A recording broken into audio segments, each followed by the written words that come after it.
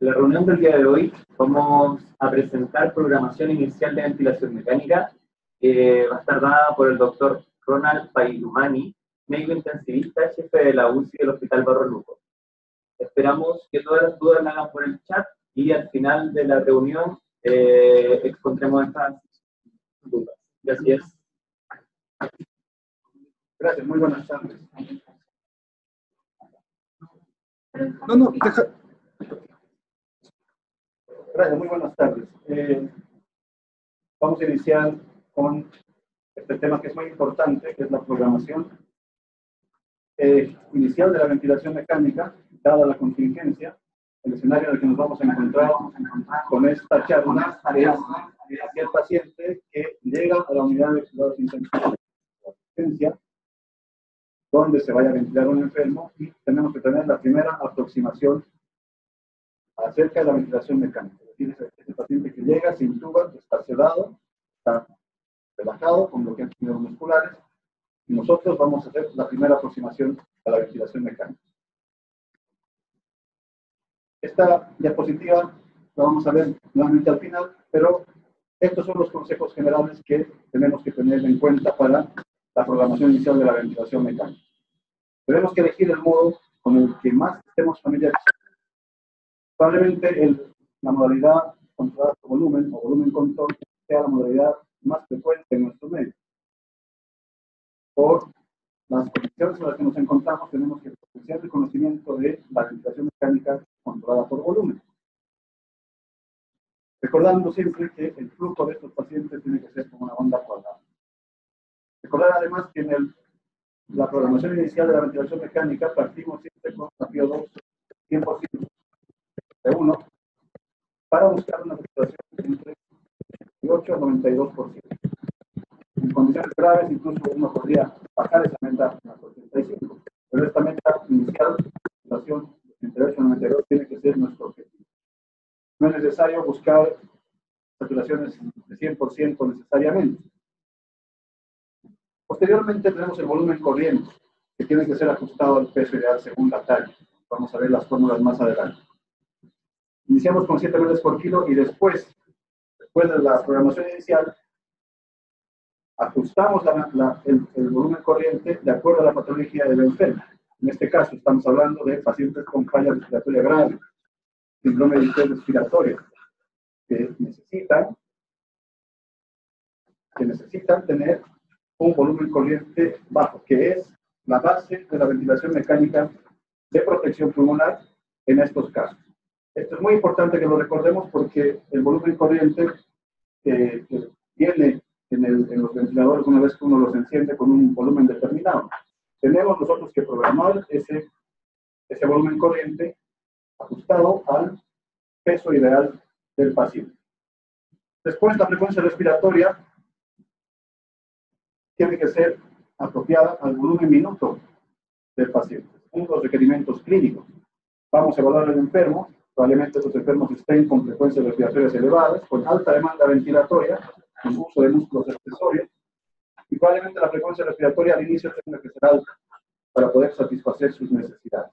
Pero posteriormente vamos a ajustar la frecuencia respiratoria a unos niveles apropiados, siempre buscando como meta el pH, no el dióxido de carbono, no la presión de CO2, dado que pacientes con falla respiratoria grave, severa, van a desarrollar necesariamente hipercapnia.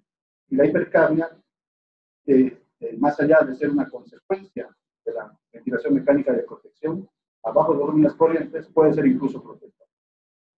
Después nos encargamos de ajustar el FIT y la FIO2 de acuerdo a una, unas tablas bastante prácticas que según la oxigenación y la monitorización de la ventilación mecánica, vamos a ver. Esto, esta diapositiva la vamos a poner nuevamente al final para que la recordemos plenamente.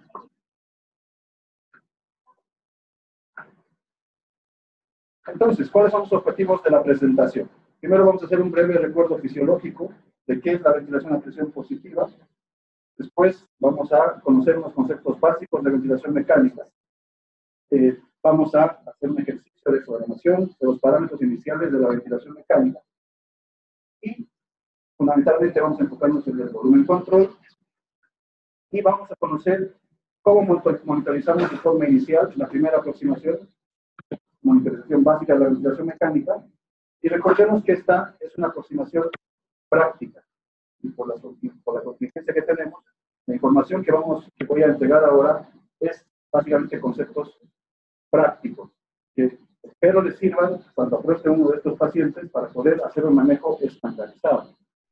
No vamos a meternos con mucha información eh, respecto a, entre comillas, la evidencia de que hay en este, en este tema, dado que la, la, programación inicial de la ventilación mecánica es más o menos estándar en general.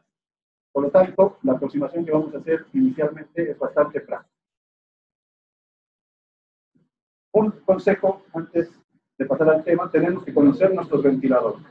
Los ventiladores que tenemos en nuestras unidades los tenemos que conocer, leerse los manuales, saber qué, con qué contamos, con qué armas vamos a contar para esta enfermedad. En el caso de nuestra unidad, la unidad de cuidados intensivos del Hospital Barros Luco, contamos con los en 840 y los ventiladores AVEA. Son los dos que tenemos en este momento. Entonces, ¿cuál es el ¿Cuál es la meta, viendo al, recuerdo fisiológico del sistema respiratorio? Hay dos aspectos que son fundamentales, que nos van a ayudar a comprender la ventilación mecánica de presión positiva. ¿Para qué, hacer, ¿Para qué ventilamos a un enfermo? Para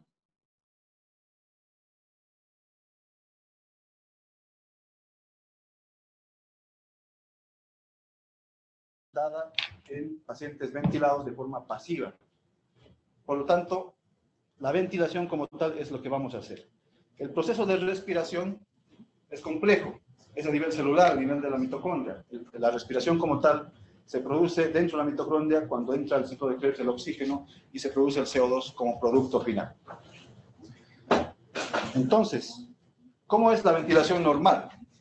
Todos, entre comillas normal, todos estamos a ventilación a presión negativa, es decir, inspiramos de forma activa utilizando los músculos respiratorios y la aspiración es en general pasiva.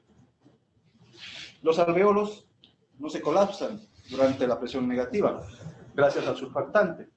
Y además hay una presión que se ejerce por los músculos respiratorios, por el diafragma que se contrae, para poder aumentar la elasticidad del pulmón.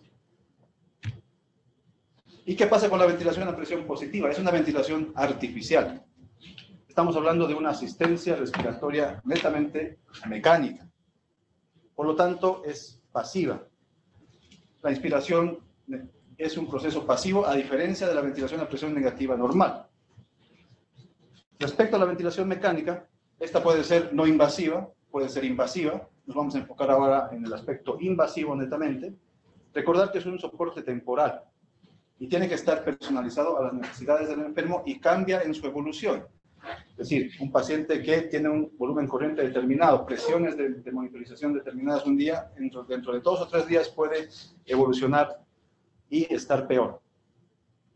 Y recordar además que la ventilación a presión positiva trae complicaciones. Cuando es mal utilizada, trae complicaciones.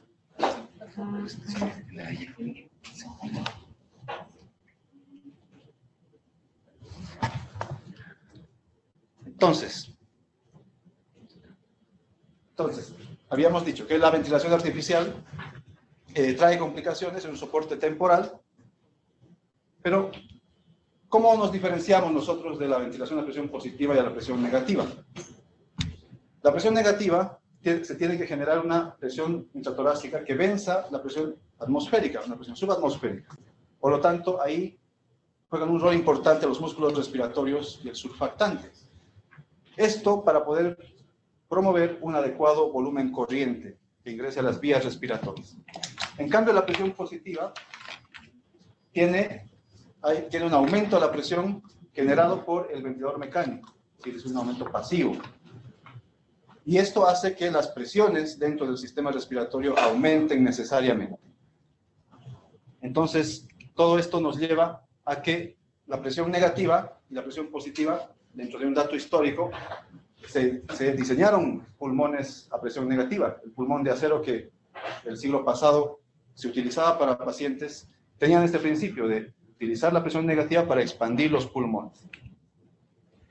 Sin embargo, posteriormente, ya con el nacimiento de los, cuidados intensivos, en una epidemia de polio en Europa, se vio que la presión positiva puede ser incluso más útil y más cómoda que la presión negativa, el famoso pulmón de acero.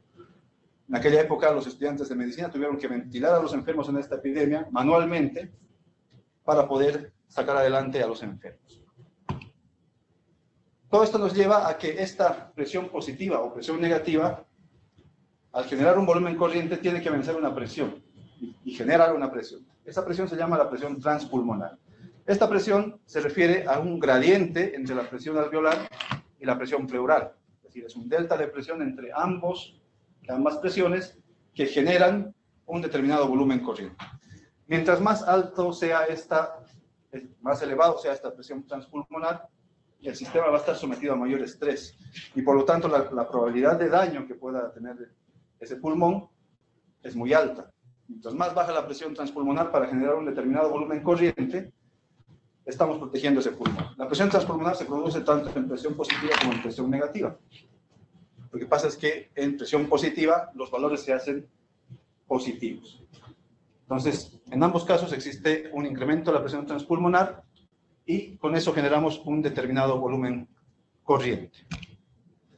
Por lo tanto, la presión transpulmonar es la fuerza real de la distensión pulmonar. Por lo tanto, es el principal determinante del estiramiento o strain del parénquima pulmonar y puede ser catalogado mediante esa forma.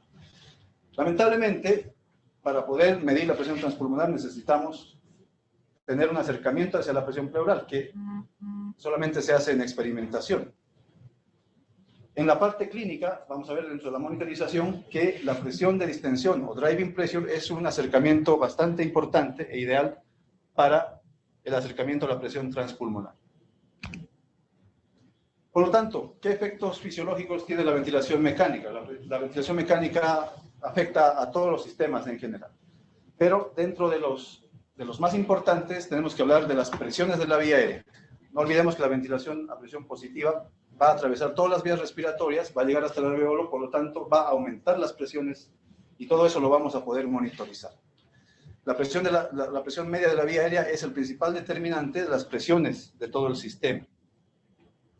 Entonces, vemos que en diferentes lugares de las, de, las vías respiratorias y el parénquima pulmonar se generan diferentes presiones. Y la presión media de, la vía aérea es un determinante importante durante el ciclo inspiratorio para poder abrir los alveolos, para poder mejorar la oxigenación. La oxigenación alveolar mejora a través de la ventilación a presión positiva. Es decir, favorece además el reclutamiento de los alveolos. Por lo tanto, la presión positiva como tal va a mejorar en los pacientes con falla respiratoria la oxigenación. Los efectos a nivel alveolo capilar tienen que ver fundamentalmente con la relación ventilación-perfusión. Es decir, cada unidad alveolar y capilar está, va a estar sometida a una, a una determinada presión. Y esa, esa presión tenemos que manejarla de forma adecuada. No olvidemos que existen las zonas de West, las zonas de West están determinadas por la capacidad que tiene el parénquima pulmonar para poder hacer el intercambio gaseoso de acuerdo a las presiones que se genera en el lado arterial, venoso y en la presión alveolar. La zona 2 es la ideal, donde al medio tenemos la presión alveolar y a ambos lados las presiones tanto arterial como venosa. Pero, ¿qué es lo que sucede en el paciente crítico? Esto, es lo que sucede en un paciente en cuidados intensivos. Las zonas de West se modifican por la gravedad, por lo tanto, la ventilación de presión positiva puede tener algunas complicaciones. ¿Qué alteraciones de la relación ventilación-perfusión vamos a encontrar? Fundamentalmente en el tema del COVID-19 que estamos conversando, es el aumento del shunt, es decir, el, el ocupamiento alveolar, el ocupamiento intersticial, van a provocar un aumento del cortocircuito pulmonar. Y esta, el cortocircuito pulmonar, es el, la principal causa de hipoxemia en estos enfermos. Por lo tanto, la ventilación mecánica puede reducir el shunt por la misma presión positiva, reclutando alveolos, y gracias al PIP, que es la presión expiratoria al final de la expiración, el reclutamiento se mantiene. El PIP nos ayuda a mantener reclutados los alveolos. Por lo tanto, se incrementa la capacidad residual funcional y, en cierta medida, se mantiene un equilibrio entre la ventilación y perfusión. Sin embargo, podemos provocar nosotros con la ventilación mecánica aumento del espacio muerto. Y esto es lo que comúnmente llamamos en intensivo la sobredistensión. Cuando ejercemos altas presiones en, el sistema respiratorio y la vía aérea, podemos generar sobredistensión. Es decir, si tenemos alto volumen corriente, alto PIB innecesario, podemos generar un volumen, un, un espacio muerto y ser también una causa de hipoxemia en los enfermos con distrés respiratorio. Dentro de los efectos cardiovasculares tenemos que recordar que lo que es bueno para el pulmón es bueno también para el corazón. Muchos de los casos de distrés respiratorio severo se complican con cor pulmonar agudo, es decir, afectación del ventrículo derecho y claudicación del mismo. Por lo tanto, la presión positiva que se vaya a ejercer a el, al, pulmón va a ejercer aumento de las presiones de la arteria pulmonar y esto va a sobrecargar al ventrículo derecho. Por lo tanto, no tenemos que olvidar nunca que el corazón también juega un rol importante en el ajuste de la ventilación mecánica, por lo menos inicial. Respecto a esto, ha nacido la interacción cardiopulmonar con este concepto, es decir, la compresión de los capilares aumenta las presiones, aumenta y dilata el ventrículo derecho, y esto puede llevar al shock, puede afectar al ventrículo izquierdo por desviación del tabique interventricular. Y este fenómeno se observa en el ciclo respiratorio. Esta es la base de los predictores dinámicos que utilizamos durante la reanimación. Esto es lo que pasa con la interacción cardiopulmonar. Normalmente, y esto lo ven los colegas anestesistas, por ejemplo, cuando intuban un paciente, en una primera instancia hay disminución del retorno venoso y baja la presión en un paciente con un pulmón normal pero posteriormente por efectos autorregulatorios la presión se normaliza y por efectos también farmacológicos se le pasa un poco de volumen, se normaliza la presión. En un paciente con presión positiva, esta fisiología puede adaptarse, es decir, hay mecanismos compensadores que hacen que al aumentar las presiones del lado derecho gracias a la presión, a la presión positiva, el lado izquierdo puede adaptarse gracias a la interacción cardiopulmonar. Ya pasando al tema, cuestión, con este recuerdo fisiológico, Vuelvo nuevamente, quiero recordar que la ventilación mecánica puede causar daño si es mal utilizada. Por lo tanto, la ventilación mecánica tiene que ser ajustada adecuadamente a cada paciente. ¿Cuáles son los modos ventilatorios? Los, el modo ventilatorio a, ventilación mecánica total, invasiva, los convencionales son estos. Los controlados por volumen o presión, asistido controlado por volumen o presión, el DCMB no lo vamos a mencionar prácticamente, la ventilación espontánea, que está en otro capítulo, y está puesto en rojo lo que vamos a ver ahora. La ventilación mecánica convencional se basa en estos modos ventilatorios, controlado por volumen, asistido controlado por volumen. Para este tema en particular, gran parte de nuestros enfermos van a ser ventilados en estos modos ventilatorios. No se recomienda el uso inicial de la ventilación mecánica con modos ventilatorios no convencionales, que, de los cuales no existe mucha experiencia y tampoco existe muchos resultados clínicos evidentes. Por lo tanto, el ciclo respiratorio consta de dos fases en la parte ya de la ventilación a presión positiva. La inspiración es el tiempo inspiratorio activo y uno puede poner una pausa inspiratoria que puede ayudar a incrementar el tiempo inspiratorio. Y la expiración es pasiva se puede, eh, hay el movimiento al exterior de los pulmones y también puede haber una pausa expiratoria. Este es el gráfico clásico de una monitorización de la ventilación mecánica en volumen control, una gráfica de monitorización de presión por tiempo, donde vemos en amarillo el disparo, es decir, este paciente está en asistido controlado, inicia la ventilación mecánica, el, ventilador mecánico asiste al paciente, hay una fase inspiratoria, una pausa inspiratoria, que se correlaciona con la presión pleural y la fase, y la fase expiratoria. Fíjense que no llega a cero el, la, en la expiración. Ese es el PIP que estamos dando al paciente. El disparo en pacientes con distrés respiratorio van a estar sedados en ese momento, van a estar conectados, es decir, con bloqueantes neuromusculares, por lo tanto, el disparo lo va a iniciar el ventilador mecánico. Cuando el paciente ya empiece a pasar el efecto de los sedantes, eh, van a hacer un disparo propio, que es el, lo que se define como el disparo como tal. Y el ciclado, es un concepto importante que recuerden, que es el fin de la fase inspiratoria e inicio de la fase expiratoria. Esto está vinculado a las variables de ciclo de la ventilación mecánica. El ciclado es muy importante porque, de acuerdo a la modalidad ventilatoria que estemos utilizando, es el tipo de ciclado. En nuestro caso, en la modalidad volumen control, el ciclado es por volumen. Es decir, nosotros programamos, por decir, un volumen corriente de 400 ml, cuando la máquina asista con 400 ml, ahí va a ciclar, ahí va, se va a abrir la válvula expiratoria y se va a producir la expiración. Entonces, los tipos de ciclado en volumen control es por volumen. En presión control es por tiempo, uno programa el tiempo inspiratorio. Y en otros modos ventilatorios, como la presión de soporte, el tipo de ciclado es por flujo. Por lo tanto, la ventilación mecánica en volumen control es el más utilizado. 90% se utiliza la ventilación controlada por volumen en los pacientes con insuficiencia respiratoria grave. Se debe hacer hay un volumen determinado de la, que, da la máquina que nosotros lo programamos, tenemos que ver previamente conectado al ventilador mecánico al paciente qué volumen le vamos a dar. Por lo tanto, el aumento de las presiones de la vía aérea es proporcional al volumen, a la resistencia de la vía aérea y a la distensibilidad del pulmón que va a estar afectada. Por lo tanto, como nosotros estamos controlando el volumen, tenemos que monitorizar las presiones de la vía aérea. Ese es nuestro objetivo en la monitorización de la ventilación mecánica en volumen control vigilar la presión de la vía aérea, que no se dispare, que no se, que no se eleve la presión inspiratoria máxima, la presión peak, que no se eleve la presión, la presión meseta, y, tenemos que ajustar nuestras alarmas para darnos cuenta y estar atentos a, esos, a esas elevadas presiones. Y el tiempo inspiratorio puede depender de dos factores, la frecuencia respiratoria, el flujo y la pausa que le vayamos a dar.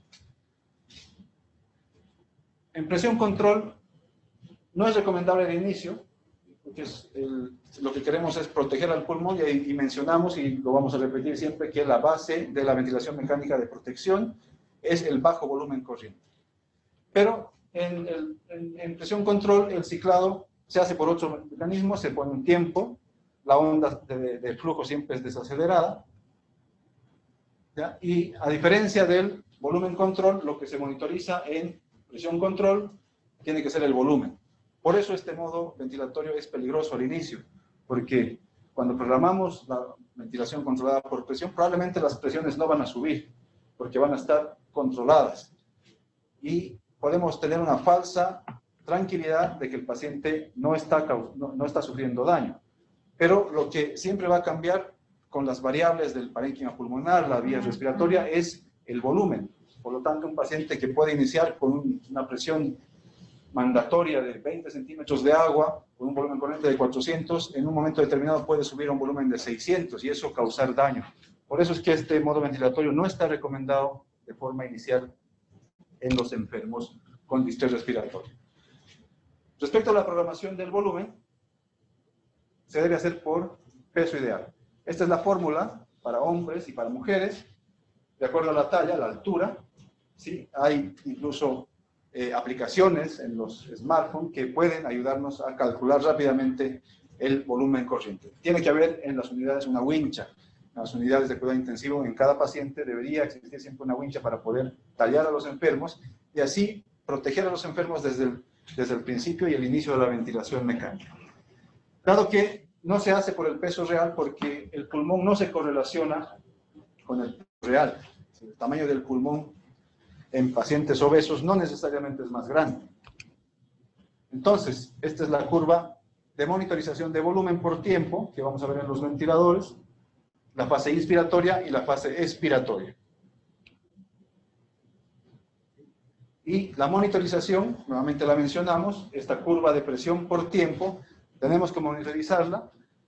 Aquí tenemos eh, primero la fase inspiratoria, la pausa inspiratoria, la expiración, y la pausa inspiratoria la vamos a correlacionar con la presión meseta, que es muy importante, la presión plató. Entre la presión meseta y la presión máxima de la vía aérea, la presión peak se relaciona mucho con las resistencias. el aumento de, de, las presiones máximas y el delta con el plató se relaciona mucho con el aumento de la resistencia. Y los pacientes con distrés respiratorio, lo que vamos a ver es un aumento de las presiones plató, un aumento de una disminución de la compliance pulmonar, que es lo que se correlaciona con esta curva. Entonces, en este ejemplo vemos en azul un paciente con una compliance adecuada. La presión meseta no ha cambiado. En rojo vemos un paciente que tiene elevadas las presiones de la vía aérea, ¿sí? con una presión máxima elevada. Sin embargo, el plató se mantiene en un valor igual a la curva azul. Por lo tanto, podemos interpretar esta curva como que este paciente tiene algún problema de resistencias, de obstrucción de la vía aérea en algún tramo de, la, de, las vías respiratorias. Por lo tanto, el aumento de las resistencias puede provocar el aumento de las presiones de la vía aérea. Entonces, volvemos a repetir, en este modo ventilatorio debemos monitorizar las presiones.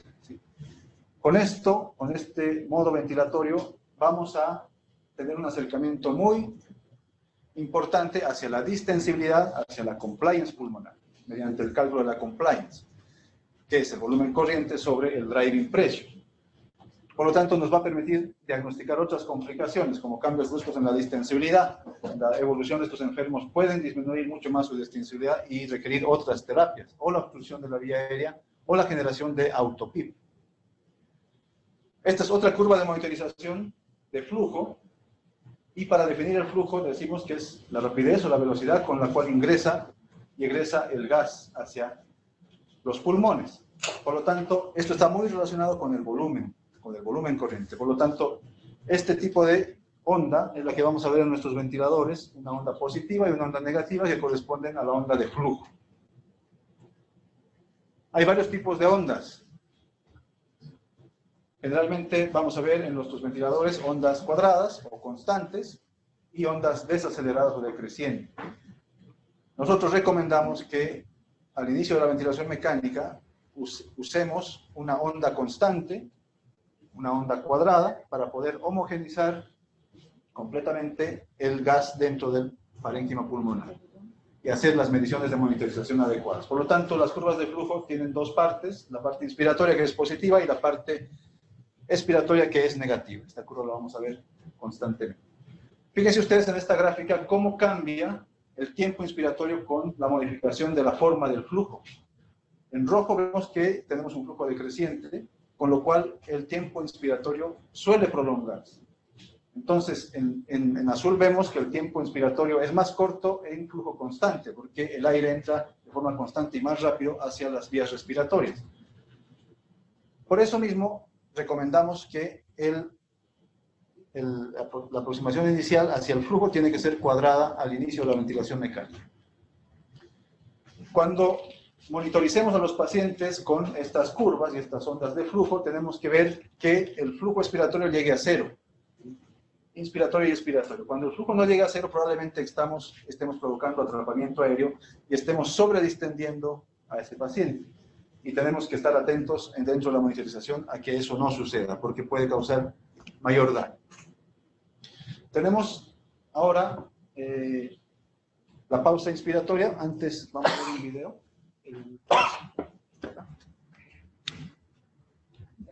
es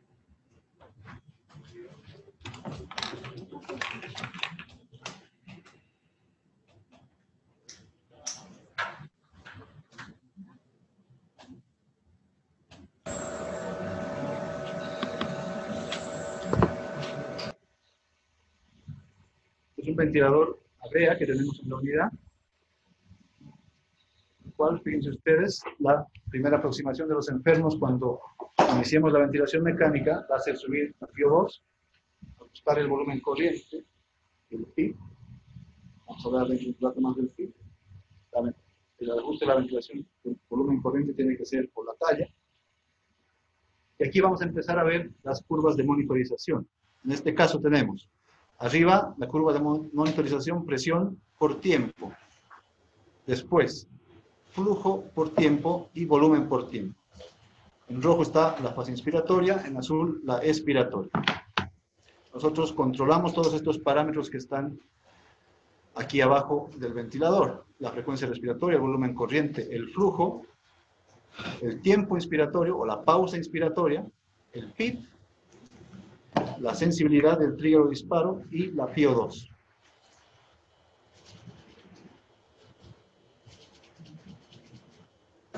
Entonces, cuando modificamos el flujo, se van a modificar las variables del ciclo inspiratorio, actualmente la inspiratoria.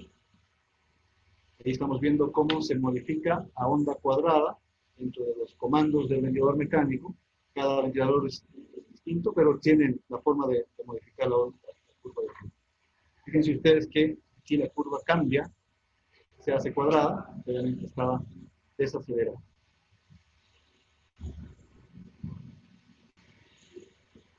podemos poner una pausa inspiratoria para poder aumentar el tiempo inspiratorio.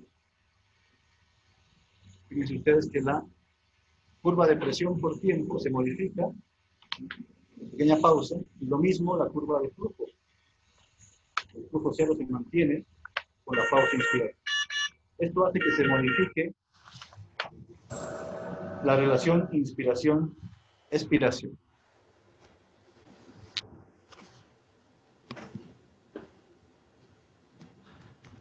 Entonces, respecto a la pausa inspiratoria, conversamos que es una maniobra importante para poder hacer la monitorización de la ventilación mecánica. Estos pacientes necesitan medirse la presión plato, la presión meseta. Por lo tanto, nosotros tenemos que hacer una pausa inspiratoria. Se correlaciona con la presión pleural, la presión de la vía aérea, la disculpen, la presión alveolar. Por lo tanto, la pausa inspiratoria es una maniobra que tenemos que hacer. Y vamos a verlo aquí en el video, en los ventiladores que tenemos. Ese es el botón de la pausa inspiratoria. Se hace una pausa durante 3, 4 segundos. Y después se congela la imagen y se mide la presión S, la presión plato. Se hace una correlación con el PIC para calcular el driving pressure.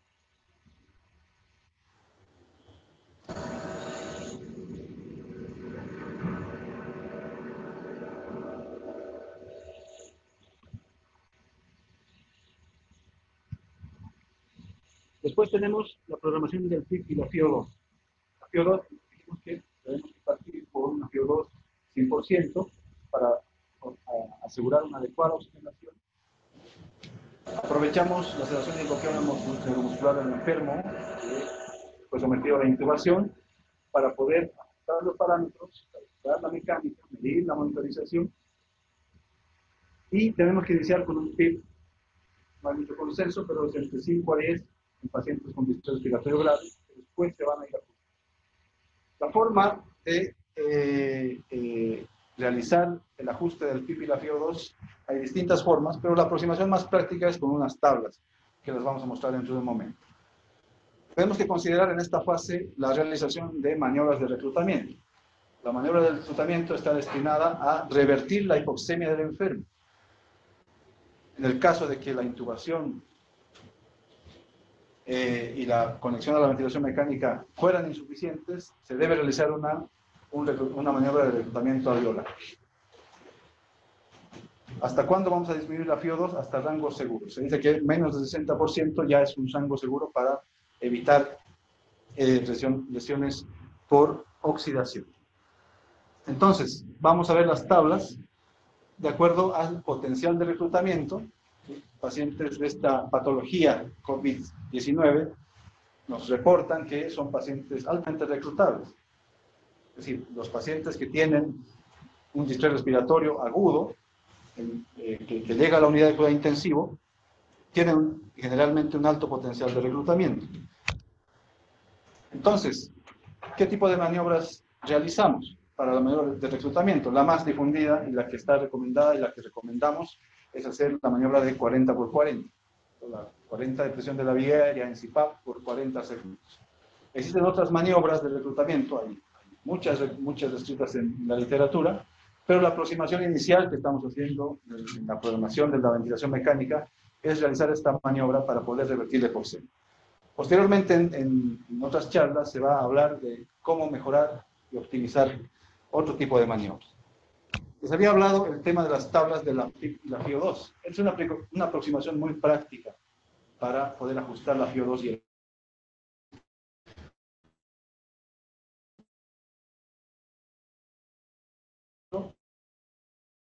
ya lleva muchos años, desde el año 2000, y abajo el alto potencial de reclutamiento, es decir, pacientes que necesitan PIB alto para poder mantener una oxigenación adecuada, son altamente reclutables, validado por el estudio LOB.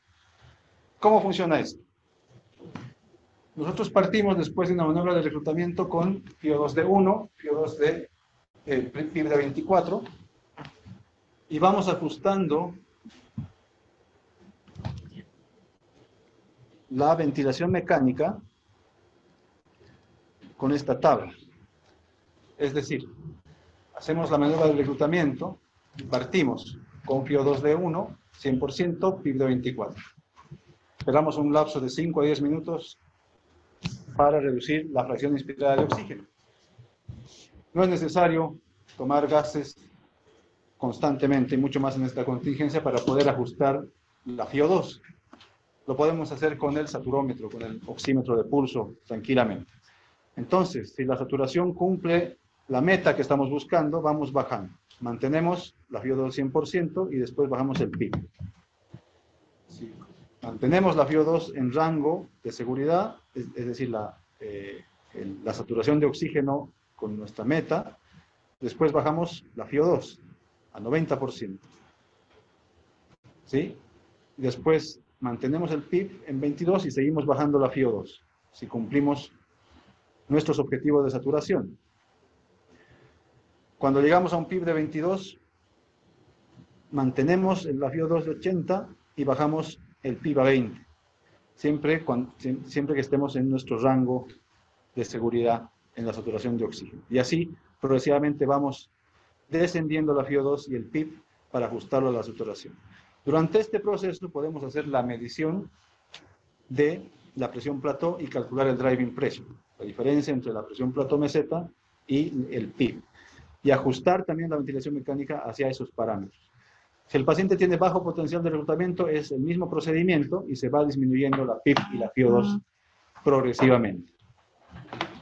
Entonces, esto nos ayuda a diferenciar los pacientes de alto potencial, bajo potencial, y nos ayuda también a ver la evolución de los enfermos.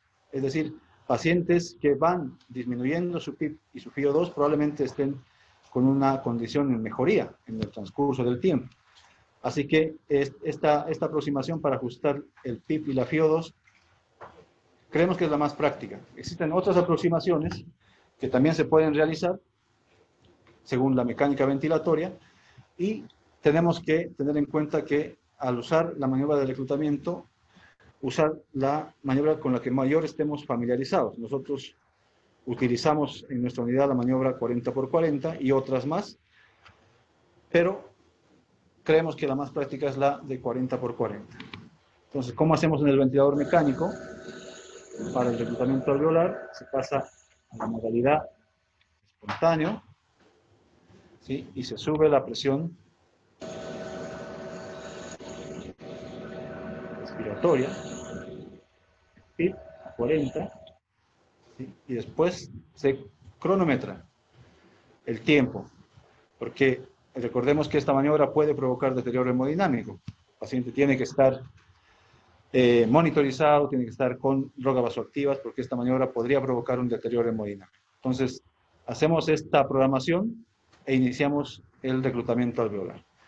Y posteriormente utilizamos las tablas de PIB y FIO2 y la monitorización de la ventilación mecánica para ajustar ambos parámetros.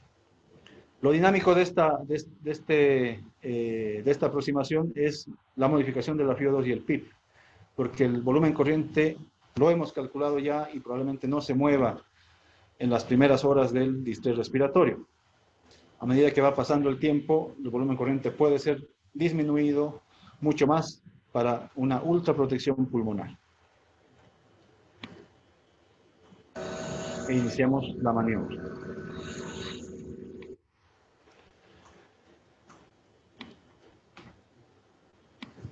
Entonces, agradezco su atención y vamos a volver a la primera diapositiva para que no se nos olvide qué aproximación tenemos que tener con los pacientes recién intubados y a los cuales se va a programar la ventilación mecánica. Muchas gracias.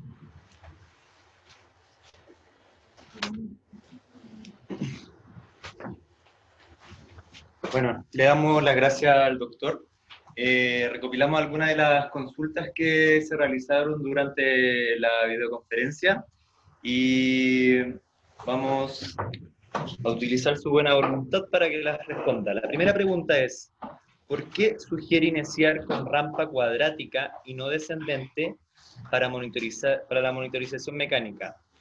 Eh, luego sugiere cambiar forma o mantener y en pulmones altamente heterogéneos recomienda prolongar tanto la pausa inspiratoria 3-4 segundos. Esa es la primera pregunta. Sí, bueno, la, la, forma de flujo cuadrada es, una, es el, eh, la programación del flujo en la que vamos a tener una homogenización del gas y del aire que está ingresando a los pulmones, por lo tanto, va a ser más fidedigna la monitorización de la ventilación mecánica con una onda cuadrada que con una onda desacelerada. Esto en pacientes con eh, patologías agudas, distrés respiratorio. En pacientes que tienen otras patologías, probablemente la onda cuadrada sea incómoda para los enfermos, porque el, el aire ingresa bastante rápido y se mantiene en el tiempo inspiratorio. La curva desacelerada, en nuestra práctica la utilizamos y la cambiamos cuando el paciente ya va mejor, ya va cambiando su, su ya, va, ya, va mejorando el distrés respiratorio, pero para una adecuada monitorización eh, necesitamos que el paciente esté con una onda cuadrada. La siguiente pregunta. Cuando se hace la maniobra de reclutamiento 40 por 40, ¿se hace con rampa y se aumenta gradual? No, no, no se hace gradual. Hay otra maniobra que es ascendente, una impresión control, que no la vamos a describir en esta presentación. La maniobra de 40 por 40 es corta, dura eh, solamente 40 segundos. Eh, y uno eleva la presión de la vía aérea hasta 40 centímetros de agua. Y lo que hace es aumentar el PIB, es decir, la presión de la vía aérea, la única presión que vamos a tener en esos 40 segundos es la presión que está ejercida por el PIB. Entonces, en esos 40 segundos, eh, la monitorización que vamos a ver en el ventilador mecánico es 40 centímetros de agua. Se cumplen los 40 segundos y hay que volver a la modalidad volumen control. Eh, siguiente pregunta. ¿Cada cuánto tiempo se recomienda hacer maniobras de reclutamiento? Miren, eso no hay consenso. las maniobras de reclutamiento eh, generalmente se realizan entre dos a tres en pacientes con distrés respiratorio. nuestro objetivo es revertir la hipoxemia sin causar daño en el pulmón. Es decir, no, no realizar maniobras de reclutamiento más allá de tres veces porque después podemos eh, dañar más el pulmón. Pero en general, con una, entre una a tres maniobras, los pacientes salen del estado de hipoxia. Y después, si persiste en ese estado, ya en, dentro del protocolo de cada unidad se debe avanzar hacia otras terapias, hacia otras maniobras de rescate, por ejemplo, el prono, para poder revertir la, la hipoxia del enfermo. Doctor, ¿alguna posibilidad de explicar de manera más concreta la maniobra del 40 por 40? ¿Se puede en esta Sí, podemos ver el video otra vez.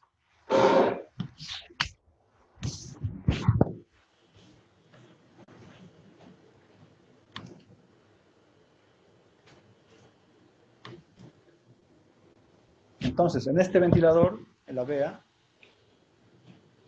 estamos en este momento en volumen control. Supongamos que este paciente tiene hipoxia, está desaturando y vamos a hacer una maniobra de reclutamiento. Previamente tomamos nuestras previsiones, avisamos a la enfermera, avisamos a los colegas, al kinesiólogo, que vamos a hacer la maniobra. Tenemos preparado las drogas activas en caso necesario. Y cambiamos la modalidad a CIPAP, presión de soporte. Y ahí ajustamos y subimos el PIP hasta 40. En los ventiladores que ustedes tengan, tienen que evaluar y ver eh, esta, este, esta programación. En algunos suele variar el inicio de la, de la maniobra de reclutamiento. Por ejemplo, en los Puritan Bennett, uno tiene que hacer una maniobra de eh, ventilación para poder dar inicio a, la maniobra de reclutamiento. En este ventilador, en el AVEA, no es necesario. Entonces, subimos la presión a 40 centímetros de agua y iniciamos y cronometramos la maniobra de reclutamiento. Entonces vamos a dar inicio y la presión de la vía aérea, se ve acá, sube a 40. No olviden que la presión de soporte tiene que estar en cero, porque si, si, si existe algún gatillo, una, una, una, un esfuerzo ventilatorio que no hayamos logrado percatar, el paciente puede inspirar y, y tener eh, mayor volumen corriente. Sin embargo, en esta maniobra el paciente tiene que estar profundamente sedado y bloqueado, con bloqueante neuromuscular. Entonces, fíjense ustedes que la presión de la vía aérea llega hasta 40 centímetros de agua. Hay que cronometrar bien el tiempo, porque para pasar nuevamente al modo volumen control, uno suele demorar entre 5 a 6 segundos en hacer el, el perilleo. Así que esta maniobra la tenemos que practicar en nuestros ventiladores y ver dónde están eh, los comandos y poder realizar la maniobra como corresponde.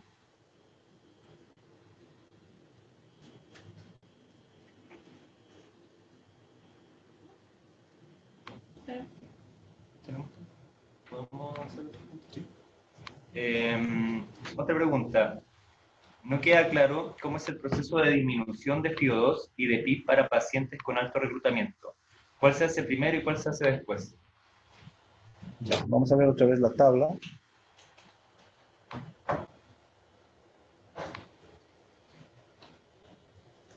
Entonces, vamos a suponer que nos llega un paciente con COVID-19 y tiene alto reclutamiento. Hacemos la maniobra del reclutamiento y dejamos la FIO2 en 100%, PIB de 24, hacemos una medición de la mecánica ventilatoria y nuestra meta va a ser la oxigenación, es decir, la saturación periférica de oxígeno, la pulsioximetría. Si cumplimos la meta de saturación, es decir, entre 88 a 92%, vamos disminuyendo según la tabla mantenemos FIO2 100% y bajamos el PIB a 22. Si después de 5 a 10 minutos mantiene la saturación objetivo, mantenemos el PIB y después bajamos la FIO2. Para el siguiente paso, lo que hacemos es mantener el PIB, pero seguimos bajando la FIO2. Cuando llegamos a FIO2 de 80% y el paciente satura 95%, por ejemplo, mantenemos la FIO2, pero ahora bajamos el PIB. Y así progresivamente. Si mantenemos la saturación, vamos bajando después, el siguiente paso es bajar la FIO2 a 70%, y el PIB en esta tabla se mantiene en 20 hasta que lleguemos a una FIO2 de 50%. Cuando llegamos a 50%, bajamos la FIO2, a, la, el PIB a 18, manteniendo la FIO2 de 50%, si seguimos manteniendo nuestro objetivo de saturación, después bajamos la FIO2 a 40% y mantenemos el PIB en 18. ¿Sí? No sé si les que, se quedó claro. Perfecto. Eh, como para preguntar dentro de lo mismo, una vez finalizada la maniobra, ¿a qué PIB se debe llevar? Idealmente. miren, las maniobras de reclutamiento y la ventilación mecánica con alto PIB está, eh, el objetivo tiene que ser la oxigenación, como un objetivo macro. El CO2 lo, lo, monitorizaremos después con los gases arteriales. Habíamos dicho al principio de la, de, la, de la, presentación que el objetivo no es normalizar el CO2, sino que el pH esté dentro de un rango adecuado. Y ese rango adecuado es que esté mayor a 7.25. Entonces, cuando eh, eh, realizamos la maniobra de reclutamiento, a su vez tenemos que hacer la medición de la presión plato y calcular el driving pressure. Si nosotros aseguramos una adecuada oxigenación, tenemos que ir de la mano de la monitorización de la ventilación mecánica.